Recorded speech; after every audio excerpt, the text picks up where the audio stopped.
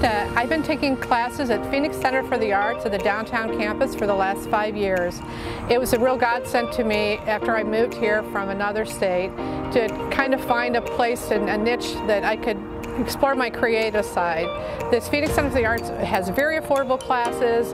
It's an intergenerational space. Uh, there's outreach to every aspects of every member of the community, and we really want to keep it affordable. My name is Liz, and I've been taking pottery classes at the Phoenix Center for the Arts since 2006. When I retired in 2015, I began teaching pottery here and taking oil painting classes.